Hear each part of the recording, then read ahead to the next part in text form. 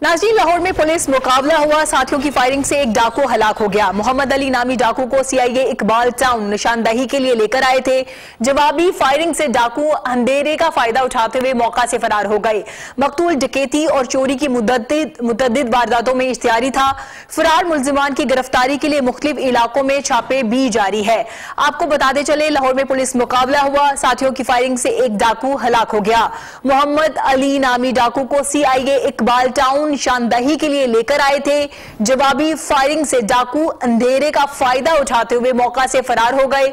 मकतूल, डकैती और चोरी की मुतद वारदातों में इश्तियारी था। इस हवाले से बात करने के लिए ज्वाइन किया नुमाइंदा सेवन न्यूज़, मलिक मुश्ताक ने। मलिक मुश्ताक, पुलिस की जानब से कार्रवाई की गई। मजीद क्या तफसीलात हैं आपके पास? के मुताबिक ये कहा जा रहा है कि सीआई इकबाल, टोन, जेर हिरासत कत्ल, इकदाम, कत्ल और डकैती की मुतद वारदातों में मुलवस खतरनाक शूटर था ये मोहम्मद अली नामी मामा भट्ट से कहा जाता था।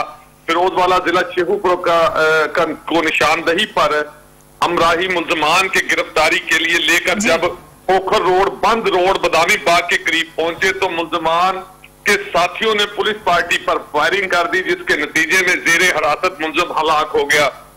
पुलिस पुलिस का ये कहना है कि वहाँ पर चूँकि हम निशानदेही के लिए लेके जा रहे थे बंद बंद रोड बदामी बाग चूँकि खुला एरिया है वहाँ पर ज़्यादातर फैक्ट्री इलाके हैं उस इलाके में मुलजम के जो साथी थे दो तीन उन्होंने पुलिस पार्टी पर फायरिंग की और फायरिंग के नतीजे में उनका अपना ही साथी जो है वो मारा गया।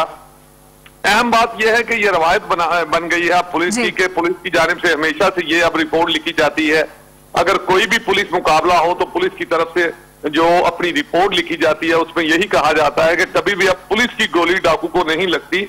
हमेशा से जो गोली है वो साथियों की गोली से ही डाकू मरते हैं और काफ़ी अरसे से पुलिस की जानब से या तमाम डिविजनल एसपी साहिबान की जानब से जैसे आपने बताया कि अरसे दराज से इस तरह से रिपोर्ट लिखी जाती है कि साथियों की गोली से ही जो डाकू है वह हलाक हो गया निशानदही के लिए लेके जा रहे थे। इस वाले से आपकी पुलिस अफसरान से कोई बात हुई हो कोई इंकशाफात उन्होंने किए हो किस तरह से ये मुकाबला हुआ?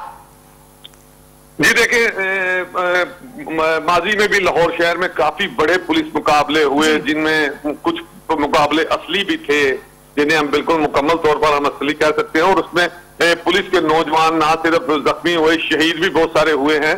लेकिन ज़्यादातर ये होता है कि पुलिस की जानब से ये इस तरह से बयान अपना लिखकर भेजा जाता है ताकि आइंदा आने वाले वक्त में जो है ज़ाहिर वो मुलजम जो भी जिसको मारा जाता है जिसे कत्ल किया जाता है उसके लवाहकीन की जानब से अदालतों में रिट्स की जाती हैं अदालतों में जा, पहुँचा जाता है वहाँ पर इनकी तलबियाँ लगती हैं पुलिस अफसरान की। तो ये काफ़ी अर्सा तक जो है वो, वो केस की पेशियाँ भुगतते हैं वहाँ पर जाते हैं एविडेंस देते हैं। तो इस हवाले से अब इन्होंने सीधा सीधा यही मामला बहुत शुक्रिया अपडेट करने